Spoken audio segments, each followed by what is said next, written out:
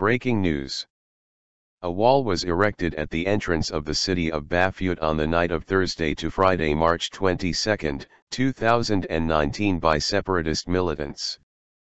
The district of Bafut located in the department of Mezam, is cut off from the rest of the northwest region.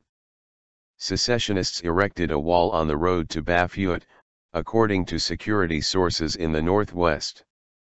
The separatists first dug a foundation and then built a wall with reinforced concrete material. Those who built this wall, have introduced a steel frame to ensure an ultra-stable foundation before starting the first meters of the reinforced concrete wall, says our source. To prevent the advance of the defense forces, Ambazonians barricade or regularly cut the ground tracks. On the night of 08 to September 9, 2018, secessionists had cut the road at a place called Akam on the Bamenda-Bafoussam axis. With the help of a heavy craft, they had dug the cliff of Akam, preventing at the same time any car traffic on this axis. The security situation has deteriorated in both the northwest and southwest regions during the past year. The International Crisis Group non-governmental organization, NGO, considers the so-called Anglophone crisis to be one of the 10 conflicts to be monitored in 2019 in the world.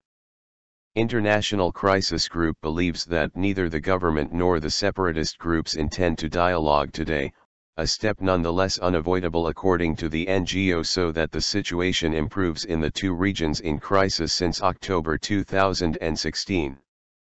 Tanda Theophilus researcher for NGO International Crisis Group reports that there are already a dozen armed groups in the English-speaking regions of Cameroon. These militias who camp in the forest, succeed attacks against the regular army because they have the control of the ground. The secessionist armed groups strike and return to the bush. More than 200 members of the Cameroonian Defense and Security Forces have lost their lives in this conflict, as well as more than 500 civilians, according to the International Crisis Group. This crisis was widely discussed on December 31 by the President in his speech of wishes. Paul Biya said he was aware of the consequences for the population and again called on the separatist groups to lay down their arms.